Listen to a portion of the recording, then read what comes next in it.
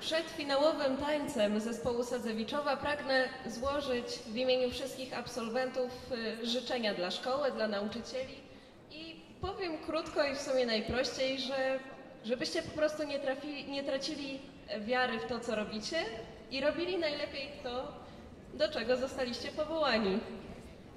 A teraz został nam na koniec taniec, popularny w całej XIX-wiecznej Europie i krokiem Mazura będziemy powoli kończyć, kończyć nasz koncert.